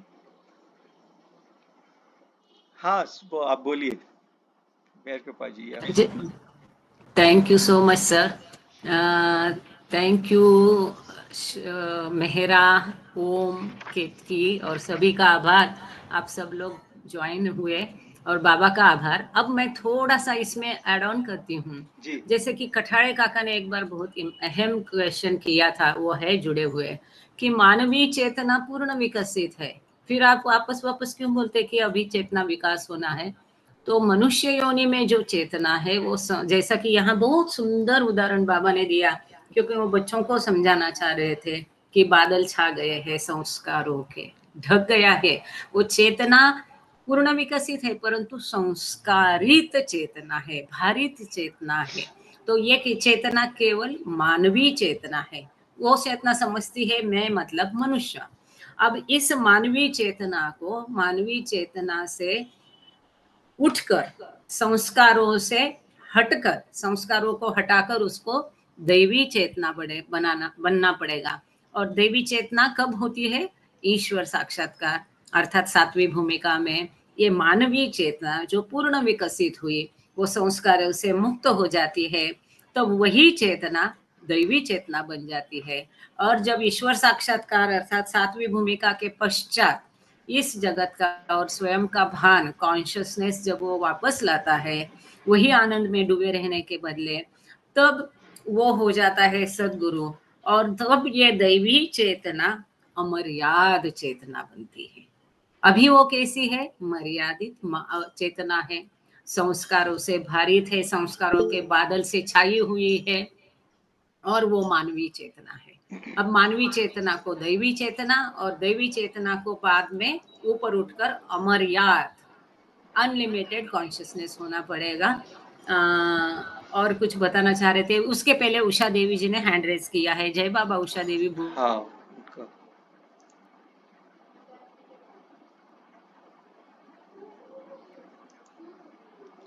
Ramesh ji आपका कोई प्रश्न है? आपका अनम्यूट करना पड़ेगा तब आप बोल पाएँगे। अनम्यूट कीजिए। आपका माइक जो है म्यूट है।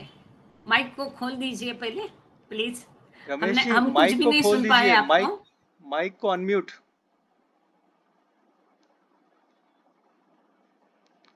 जय बाबा।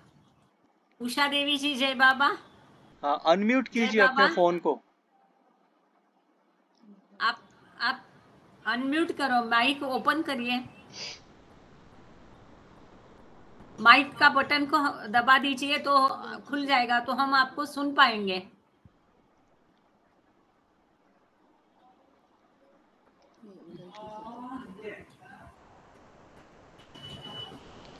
अनम्यूट कीजिए। उषा देवी जय बाबा। आपका माइक अनम्यूट कर दीजिए। Mic mic. माइक को अनम्यूट। माइक माइक को अनम्यूट करो। माइक म्यूट है आपका। ओपन करके बोलिए। ओपन करो। माइक ओपन करिए। हमारी आवाज़ पहुँच नहीं रही लगता है। हो सकता है।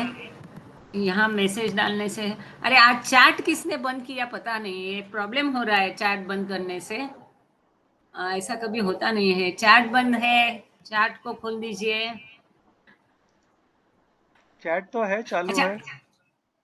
अ, नहीं मुझे नहीं है वो चैट आने इसलिए तो उनको एक मैसेज डाल देते हैं। प्लीज़ ओपन योर माइक करके हाँ मैंने डाल दिया है। थैंक यू मैंने मैसेज डाला है। हेलो हेलो जय बाबा जी हाँ हाँ आवाज़ आ गई। हाँ, बोलिए। अब बोलिए। अब पहले जो बोला हमने सुना नहीं। वापस सब बोल। जी जी।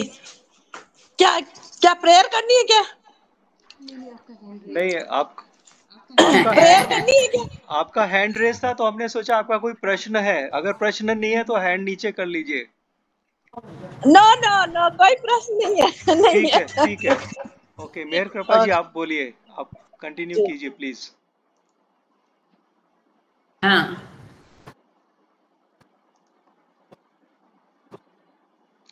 जैसा मैं ये बताना चाह रही थी वीडियो ऑन कर सकते हैं हम ये देख रहे हैं कि मन के कारण संस्कार है। तो ये हमने पहले भी देखा कि जैसा ये डाकघर का एग्ज़ाम्पल दिया था कि वो छपते जा रहे हैं। संस्कार सभी मन पे छपते जा रहे हैं। तो मुझे एक आप सब साइंटिस्ट शास्त्र वाले लोग हैं तो मुझे आप है गांगड़े सर वो भी आईआईटी वाले खड़गपुर वाले हैं आपके। तो मुझे एक ऐसा आया कि देखो एरोप्लेन है आप सबको पता है। बराबर? वीडियो ऑन कर एरोप्लेन का ब्लैक अजी वीडियो ऑन कर लीजिए। अच्छा ठीक है। जय बाबा मेरा अवतार सही नहीं है। अभी ट्रैवल से जस्ट आई हूँ ना। बाल बाल सब। ठीक है। खैर तो थैंक यू तो एरोप्लेन रहता है ना? एरोप्लेन का ब्लैक बॉक्स रहता है। जो भी एरोप्लेन में घटता है उसके साथ, वो सब उसमें रिकॉर्ड रहता है। बराबर? भले एरोप्लेन नष्ट हो जाए, वो जल जाए, समंदर में डूब जाए, लेकिन उसका black box as it is कायम रहता है। और उससे सब पता चलता है कि क्या हुआ था वो एरोप्लेन के साथ कभी उड़ान भरी क्या हुआ। या दूसरा एग्ज़ाम्पल देना है तो कंप्यूटर का जमाना है। आप जो कुछ उसमें फ़ीड करोगे, वही तो इनपुट और आउटपुट वही आउटपुट आएगा। तो ये सारे जो संस्कार है, ये कहाँ है तो मन में स्टोर है। हमारी भले मृत्यु हो जाए, शरीर ये ये दिस फॉर्म जो बाबा इस लेक्चर में समझाना चाह रहे हैं stone form vegetable form animal form तो वो बड़े फॉर्म या रूप या शरीर, उसकी छूट जाए, उसका मृत्यु हो जाए। परंतु मन जो है, वो आत्मा के साथ सदा रहता है। वो एरोप्लेन के ब्लैक बॉक्स जैसा, या तो कंप्यूटर का चिप जैसा मेमोरी जैसा, वो कभी छूटता नहीं है। और जिसमें ये सारा स्टोर रहता है, और उसके कारण उसी प्रकार उसका अगला जन्म उसको होता है। इसीलिए बाबा कहते हैं कि ये विचार जो है, मन के, मन में विचार मत आने दो। साइलेंट योर माइंड बाबा के मौन का ये बहुत बड़ा अर्थ है, बहुत गहरी और बड़ी सोच है बाबा के मन के, बाबा के मौन के पीछे कि हमको केवल जिह्वा को मौन नहीं करना है, बल्कि हमको, हमारे मन को भी माइंड को भी साइलेंट करना है। आज मेरे ख्याल से इतना काफ़ी है और किसी को कुछ पूछना है yeah, तो there is one question from Meena Jaiswani जय Baba I am new in this lectures I want to know about finite संस्कारस and infinite संस्कारस अच्छा very good okay Meena ji जय बाबा न्यू ओल्ड कुछ नहीं है आपका सवाल अच्छा है. फाइनाइट संस्कार अब क्या है? पत्थर का जब रूपाषाण योनी है वहाँ पर संस्कारस अति सूक्ष्म संस्कार होते हैं। क्यों? क्योंकि उसका रूप भी ऐसा है। उसमें जान नहीं है, वो अपने आप हिल नहीं सकता है, बोल नहीं सकता है, डुल नहीं सकता है, विचार नहीं कर सकता, उसमें बुद्धि नहीं है, उसमें मन नहीं है। तो उसका जिस जैसा रूप अति सूक्ष्म है, वैसे उसके कारण, उसके संस्कारा भी फाइनाइट मतलब एक मिनट में वो पन्ना निकाल लेती हूँ, जब घर आई गई हूँ तो ऑलमोस्ट अनकॉन्शियस मतलब उसको कोई चेतना नहीं है। उसमें जान है, पर ये आध्यात्मिक तरीके से। ये साइंस वाले सुनेंगे नहीं, जान नहीं बोल सकते, चेतना बोलेंगे हम। उसमें चेतना है, पर बहुत बहुत ना के बराबर चेतना है। इतनी सूक्ष्म चेतना उसमें है। और इसके कारण उसका शरीर क्या है? पत्थर का शरीर है, पाषाण का शरीर है। तो हमारे जैसा वो बोलता नहीं है, खाता नहीं है, पीता नहीं है, कुछ भी नहीं है, हमारी हर क्रिया संस्कारों को जन्म देती है। सांस लेना, विचार करना, बोलना, खाना, पीना, सोना, हर चीज़ से संस्कार उत्पन्न होते हैं। यदि हर चीज़ से संस्कार उत्पन्न होते थे जितनी हमारे मनुष्य जितनी क्रियाकलाप करता है तो सारे ही संस्कार उत्पन्न करते हैं। पर पत्थर इतना हिलता डुलता नहीं है तो उसके संस्कार और उसका संस्कार भी अत्यंत कम होते हैं। ये एक अर्थ है। दूसरा उसका अर्थ यह है कि अभी सोल की जर्नी शुरू हुई है। It is just beginning. पाषाण योनि है। तो वहाँ पर उसके संस्कार बहुत कम है। आगे चलकर पाषाण से वो धातु बनेगा। धातु से वनस्पति बनेगा, कीटक बनेगा, पंछी बनेगा, पशु बनेगा, मनुष्य बनेगा तो उनके संस्कार भी बढ़ते जाते हैं। ये शुरू का रूप है। पाषाण रूप है। इसलिए यहाँ पर उसकी चेतना बहुत कम है। कॉन्शियसनेस उसको ज़्यादा नहीं है। वो अनकॉन्शियस है। उसे मालूम नहीं कि मैं पत्थर है या मैं इस दुनिया में उसको दुनिया का तो कुछ भी ज्ञान नहीं है भान नहीं है। इसके कारण उसके संस्कार भी अत्यंत सूक्ष्म होते हैं। फाइनाइट मतलब सीमित होते हैं, कम होते हैं, मर्यादित होते हैं। अब आगे चलकर क्या होता है? जैसे वेजिटेबल फॉर्म है, वनस्पति, ये अत्यंत महत्वपूर्ण वनस्पति योनि है। क्यों? क्योंकि एक तो यहाँ पर अगले, जैसा हमने पहले लेक्चर में देखा था कि जो रूप है, पत्थर में, उसका सर, आँख, हाथ, पैर सब एक जैसा एक जगह जुड़ा है। अब वनस्पति में वो शीर्षासन जैसा उल्टा हो जाता है, उसका सर या उसका मुख नीचे होता है और बाहें और उसके पैर जय बाबा मीना जी ऐसा वीडियो ऑन रखो तो मुझे समझ में आएगा। आपको कुछ समझ में आ भी रहा है मैं बोल रही वो नहीं आ रहे हैं। हाँ। और राजेश जी आपने क्यों बंद किया? त्रिपाठी जी आप भी अपना वीडियो मेरी गुजारिश है कि आप अपने वीडियो थोड़ा तो ऑन रखिए।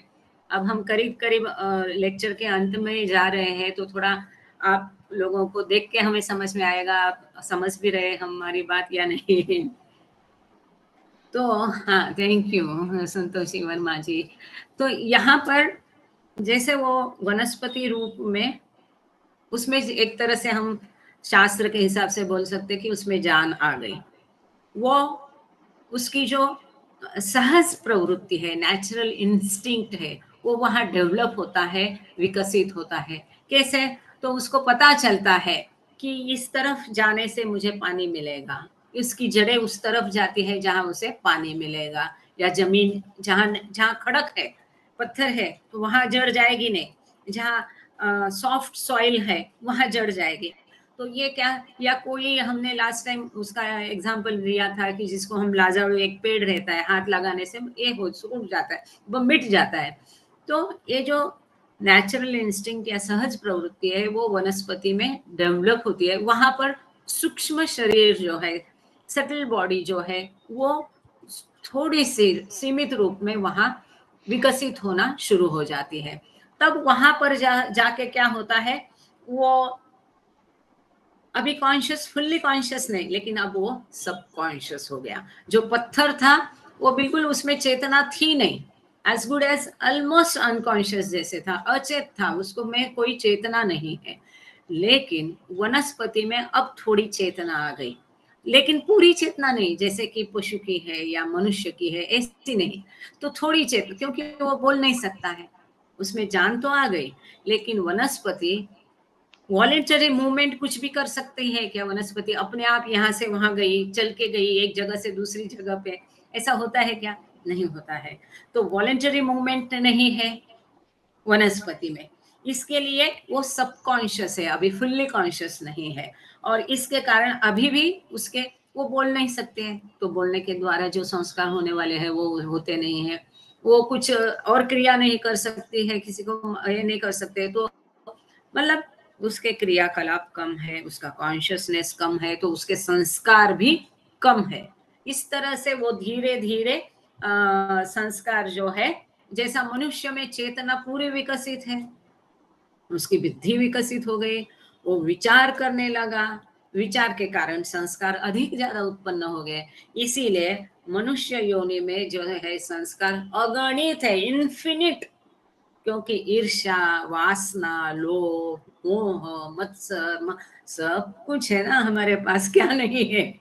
हम खाते भी है, बोलते भी है, जितना पेट को चाहिए, पशु है या वनस्पति, उतना ही खाएँगे। हम क्या करते हैं, हमारी जीवा को पसंद है तो हम ज़्यादा खा लेते हैं।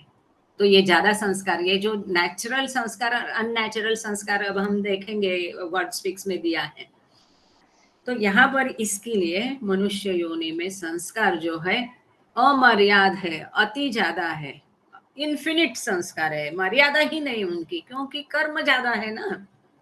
और कर्म से ही, विचार से ही संस्कार उत्पन्न होते हैं। मीना जी आपके शंका का समाधान हो गया।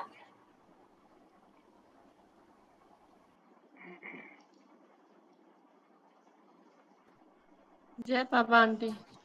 हाँ जय बाबा बेटा। हाँ जी आंटी समझ आ गया।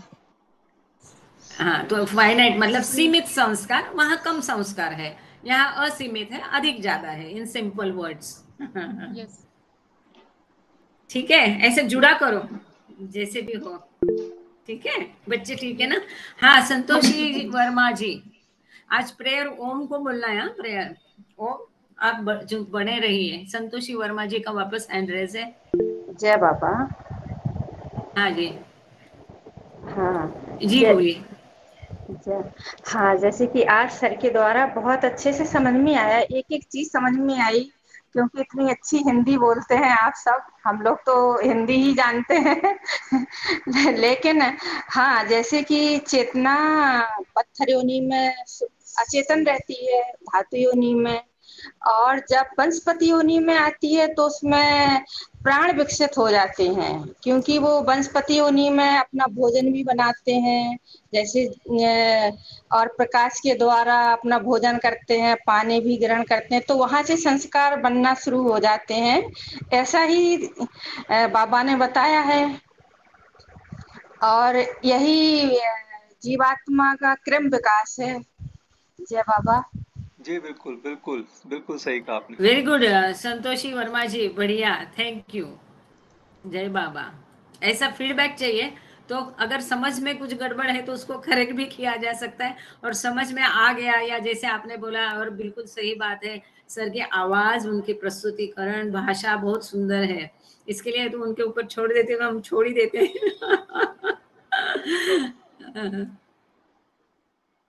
अच्छा और कोई?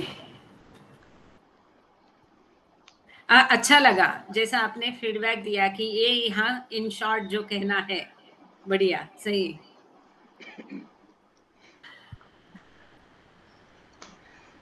अच्छा और किसी को कुछ कहना है पूछना है बताना है? राहुल जी को यहाँ से सैल्यूट पता नहीं कहाँ पोस्ट पर है? जय बाबा।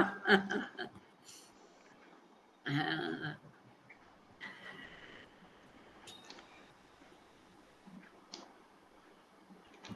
प्रेयर के लिए बोलो क्या कंक्लूड करें सर जी हाँ जी। प्रेयर प्रेयर किसी तो को बोल दीजिए। हाँ जी। हाँ आज ओम को प्रेयर्स देते हैं। हाँ ये बच्चा हमारा वहाँ डॉक्टरी का कोर्स कर रहा है फिर भी आज उसने समय निकाला। और आरती मीना जी आप आरती बोलोगी? मीना जसनानी? आपके माइक म्यूट है। आप आरती बोलोगी ना? कोई भी आपको जो भी है आप तो रेगुलर थे भजन में। अ, मीना जी ठाणे में ही रहते हैं और हमारे यहाँ सत्संग हुआ। हाँ बोल देंगे ना ठीक है। तो ओम आप प्रेयर बोल देना बेटा। जो भी हिंदी मराठी इंग्लिश आपको जो कंफर्टेबल है। और मीना जी तत्पश्चात आरती करेगी। और Mehra thank you so much आप मेहरा भी एक आ- है ना मेहरा अभी? आज मेहरा से भी एक आरती करें। आज दो आरती करेंगे ठीक है? एक मीना जी बोलेंगे एक मेहरा जी बोलेंगे। अवतार मेहर बाबा की अजी? मेहरा जी नहीं है। अच्छा शी हैज़ लेफ़्ट ओके कोई हाँ, बात नहीं। नहीं मीना जी तो है ही। जी जी। और हाँ, सभी से निवेदन है हाँ, सभी से निवेदन अपना वीडियो ऑन कर सकते हैं। जिससे हाँ रिकॉर्डिंग हो। प्लीज़ अभी तो प्रार्थना हाँ में सभी रिकॉर्डिंग शामिल में भी थोड़ा सा खाली एग्जैक्टली exactly, खाली बक्से बक्से दिखे तो थोड़ा सा हाँ हाँ, इसीलिए। मैं तो देखो बाल वाल भी नहीं किए ऐसे बन गए। जय भाव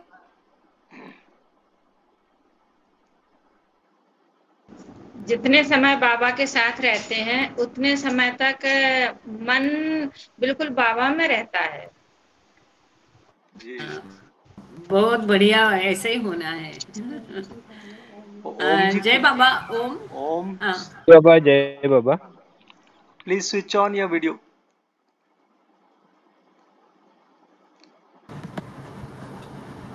वो शायद उस हालत में नहीं होगा या रेंज का प्रॉब्लम होगा अच्छा। पता नहीं।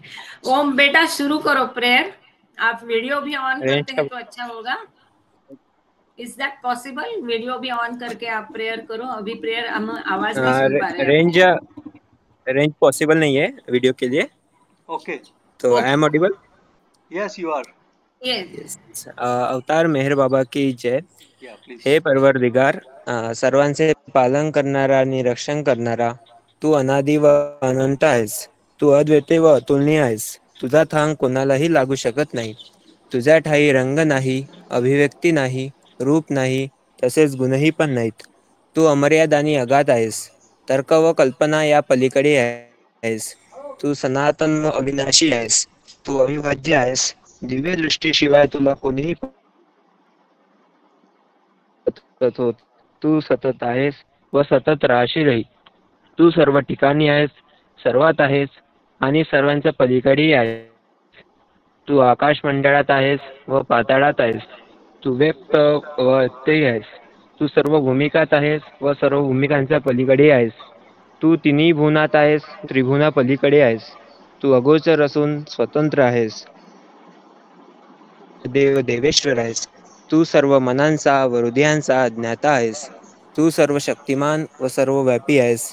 तू अनंत ज्ञान अपरिमित शक्ती व असीम आनंद आहेस. तू ज्ञान सिंधू आहेस. सर्वज्ञ अनंत ज्ञानी आहेस. भूत वर्तमान व भविष्य यांच्या तू ज्ञाचा असून स्वयं तू सागर असून सदैव कल्याणी आहेस. अनंत गुणांनी नटली.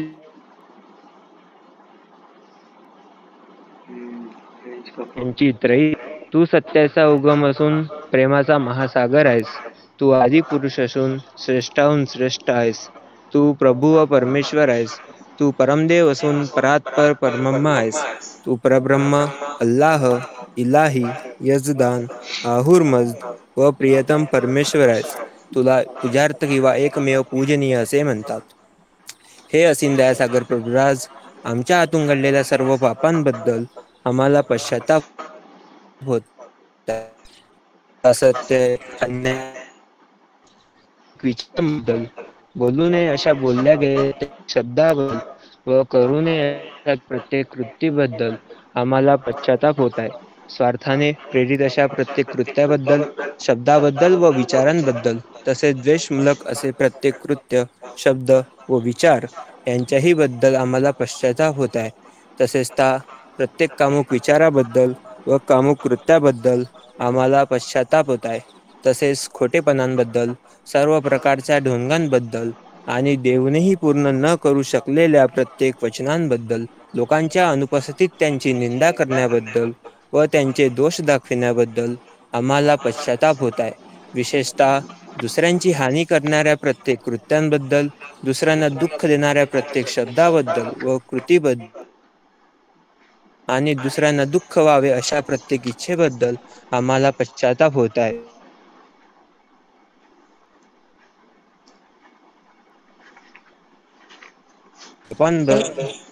तसेच इच्छेप्रमाणे विचार करण्याच्या हातून सतत ज्या चुका झाल्यात त्यांच्याही बद्दल आम्हाला क्षमा करा अवतार मेहेर बाबा हे प्रियतम परमेश्वरा तुझ्यावर अधिकाधिक प्रेम करण्यासाठी आम्हा अधिक आणखी अधिक व त्याहूनही आणखी अधिक प्रेम करण्याकरता इतके की तुझ्याशी एकरूप होण्यास आम्ही पात्र व्हावे व तुझ्यावरील आमचे प्रेम वृद्धिंगत व्हावे यासाठी आम्हास तू मदत कर. आणि प्रियतम बाबांचा दामन अगदी अखेरच्या क्षणापर्यंत हाती घट्ट राहावा. की आम्हास तू सहाय्य कर. अवतार मेहेर बाबा की जय. Meena ji thank you Om. Thank you जय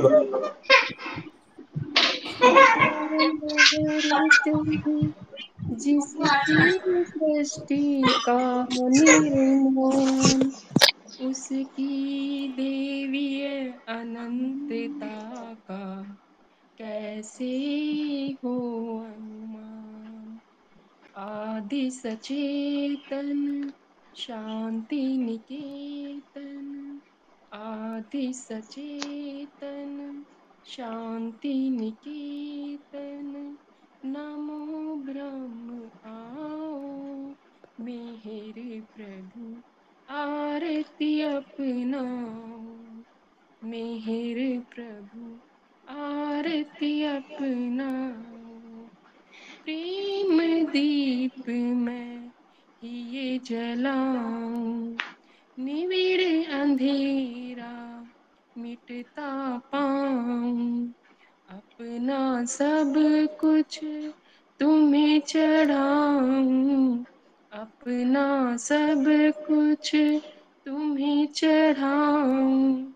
तुम मुझको सरसाओ मेरे प्रभु, आरती अपनाओ मेरे प्रभु, आरती अपनाओ जीवन की हर सांस हमारी बन जाए प्रभु, गति तुम्हारी। हे करुणा कर लीला धारी।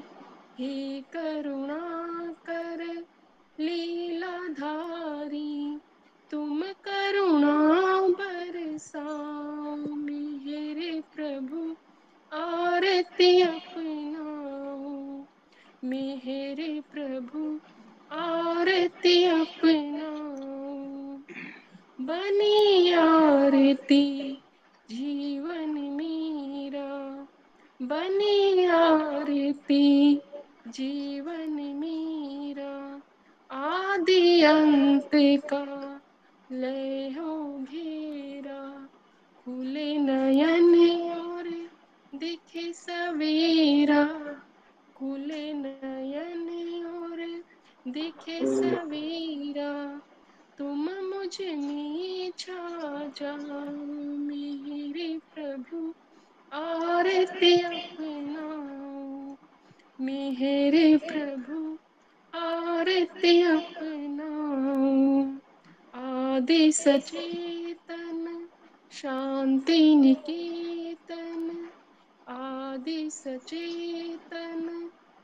शांति निकेतन नमो ब्रह्म। आओ मेरे प्रभु आरती अपनाओ मेरे प्रभु आरती अपनाओ अवतार मेहर बाबा की जय।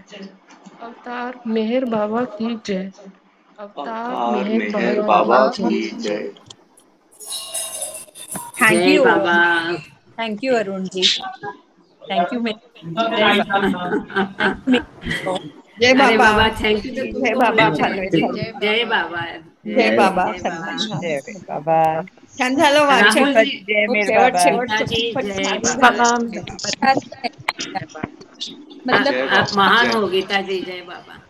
जय जय मेर बाबा। बाबा। हाँ, जय मेर बाबा। जय बाबा। जय आपका फ़ोन आया मैं सबको जय बाबा। सबको जय जय बाबा। जय बाबा। जय बाबा। जब जय। गीता जी एक एक ही गुजारिश सबको एक दो मिनट हाँ। जब गीता जी यहाँ है तो हम सबका फ़र्ज़ बनता है उनके पिता की आत्मा के लिए हम बाबा की प्रार्थना करते हैं। और सब लोग तीन बार बाबा की जय बोलेंगे और यही बाबा से प्रार्थना करेंगे कि उनकी पिताजी की आत्मा को वो शांति प्रदान करे। अवतार मेहर मेहर बाबा की अवतार मेहर बाबा की जय। अवतार मेहर बाबा की जय। अवतार मेहर बाबा की thank you Baba thank you जय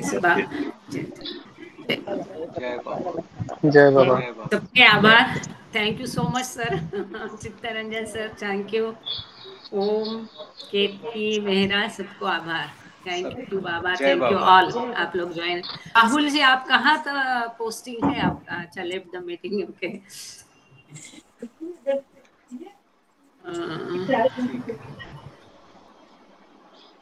ठीक है।